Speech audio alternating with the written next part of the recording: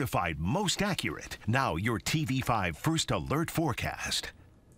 Well, happy Friday, Mid-Michigan. Let's take a look at our temperatures that we're starting out with uh, for your afternoon. For most of us, we're in the 40s, but we do have a few areas that are able to make it uh, to near 50 degrees. That's Owosso, Flint, and Lapeer, either at or very close to 50, as is Caro as well. Now, as we go throughout the rest of our day, we should mostly be looking at these temperatures that we have right now, warming just a little bit for areas south of the bay. North of the bay, likely stuck in the middle 40s. We're also going to be looking at the cloud cover very much like this, where we have a little bit of blue sky and a little bit of sunshine and also a little bit of clouds. It's going to be a mix back and forth likely for the rest of our day. Now, as we go into the overnight hours, we actually decrease that cloud cover just a little bit, just enough to remove that blanket away, cooling us down as we go into early Saturday morning. So temperatures able to get pretty chilly. This is what it looks like here on the hour by hour. This area of cloud cover moving through this afternoon moves out just in time as we go into the overnight hours, and that's going to allow temperatures to cool down to near or just below freezing for a couple of hours to start out your Saturday. We will be able to warm up though as we go into the afternoons. Uh, remember, dark gray means we're looking at clear skies here, so some sunshine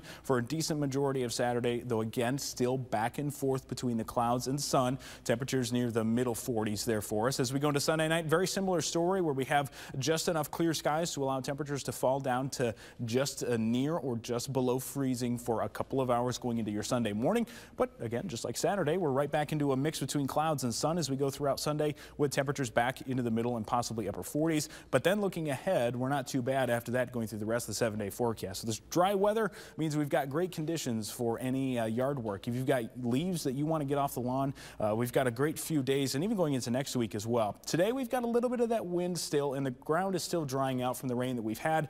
But Saturday and then Sunday and especially going into next week, we're drying out and we've got light winds and it does warm up a little bit as we go into next week as well, proving uh, to, to, to be really nice weather for anything that you need to get done outside. Maybe you're putting up Christmas decorations taking down Halloween decorations or uh, getting those leaves off the lawn. Looking pretty good next week with only a couple chances of rain, with the best being Thursday evening as uh, temperatures warming up near 60 with that uh, best chance for rain being only 20% as we go into the evening and overnight hours.